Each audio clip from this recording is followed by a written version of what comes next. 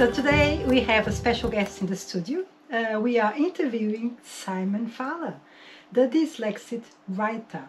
Uh, so he just wrote a book, a book about his uh, about some adventures. Well, he's going to tell us what the book is all about.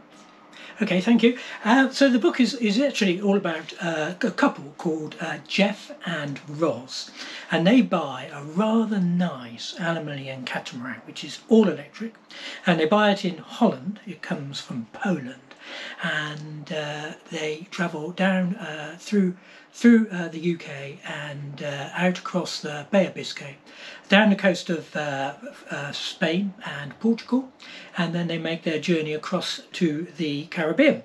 And uh, a lot of what's in the book is uh, parts of our journey, the journey that we did on our catamaran. And so it actually sort of relates to all the harbours and places that we went and uh, places like Los Roques and Grenada.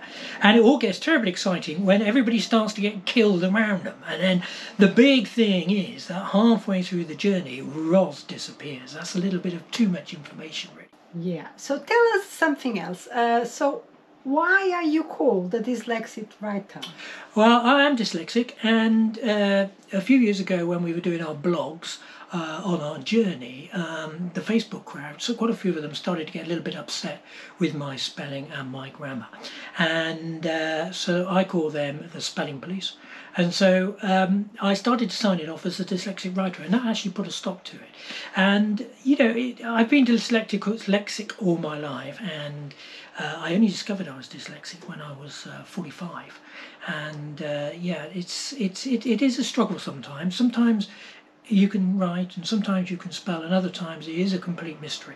But if I take it slowly I did a course and uh, if I take it slowly and uh, I look at it again and reread it and things like that. I mean I must have written, read my book about 25 times at least so I kind of know it off by heart. But uh, you can actually uh, uh, uh, sort of fight it and get it under control. Mm. so in this adventure can we expect um, some, some some of the journeys relatable with what we did when you oh, absolutely yes. I mean uh, the, the journey from Portugal uh, down to the Canaries and then on to uh, Cape Verde and uh, across the Caribbean is all based on our journey. And a lot of people wrote to me when I was blogging and said could you write a book? Because we think we would really enjoy it because we enjoy your writing. And that's really why I did it. So even though this is an adventure and it's a novel there's a lot of things in the book which are directly related to the experiences that we had uh, sailing our, our boat, Ocean Fox. And in fact, this boat's called Ocean Light.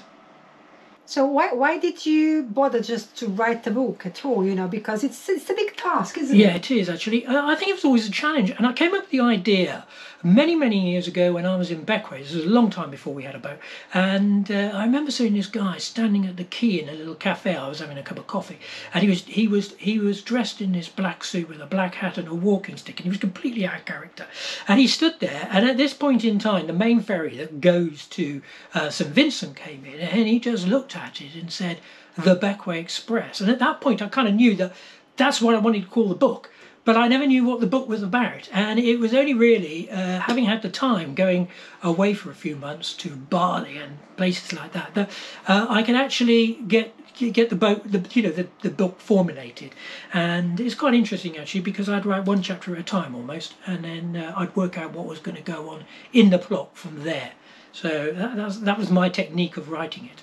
And one chapter a day, 40 chapters, is only five weeks, isn't it? Well, that was something I found exciting to see it because uh, you just said I'm I'm I'm writing the book now, and then mm. you just go and start sitting down and write the book for the whole day. You know, so well, no, it was only a few hours really, wasn't it? A couple of hours a day. I'd write a chapter, or and then I'd go back and review the previous chapter first, so that I knew where I was in the storyline. And while I wasn't writing, I'd be thinking about what was going to happen, you know, and thinking how I could build characters into it and and locations into the book to uh, make it interesting. I mean, I want the book to be for sailors and yachtsmen and adventurers and things like that. So it, it, there is quite a lot of technical stuff in there about putting sails up, putting reefs in, how many knots they're doing, how deep the water is, how long it's going to take to get somewhere, and things like that. Because I think that that makes it uh, real for the the audience that it's aimed for, which is people that that are interested in sailing and have been sailing or would like to go on a big adventure.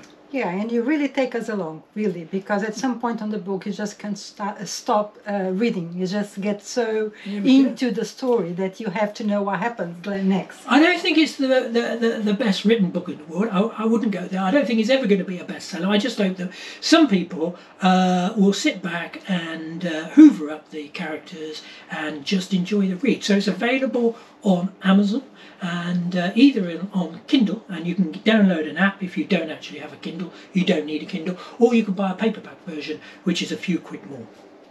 Yes, so I will leave all the links on the description below. So you please just click on it and enjoy the ride.